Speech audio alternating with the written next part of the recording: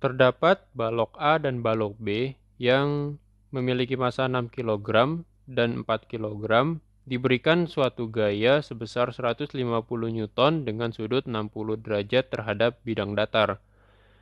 Ketika lantai yang bersentuhan pada kedua balok itu licin, maka berapa percepatan dari balok tersebut? Untuk menjawab persoalan ini, perlu mengetahui dulu tentang hukum 2 Newton. Hukum 2 Newton membahas tentang hubungan antara resultan gaya yang bekerja pada suatu benda atau suatu sistem dengan percepatannya atau F sama dengan massa kali percepatan. Untuk mengetahui resultan gaya pada A dan B, kita perlu menjabarkan gaya-gaya yang bekerja pada balok tersebut. Di sini, gaya F karena membentuk sudut perlu diproyeksikan menjadi F arah X dan F Y. Kemudian karena lantainya licin maka tidak ada gaya gesek yang bekerja. Sehingga resultan gaya yang bekerja itu hanya Fx sama dengan massa dari balok A ditambah massa dari balok B dikali percepatannya. Hingga percepatan itu sama dengan F proyeksi X sama dengan MA plus MB.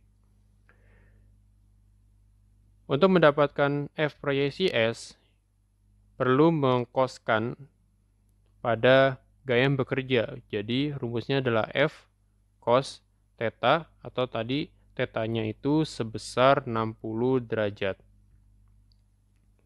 Dibagi dengan kedua massa A dan massa B.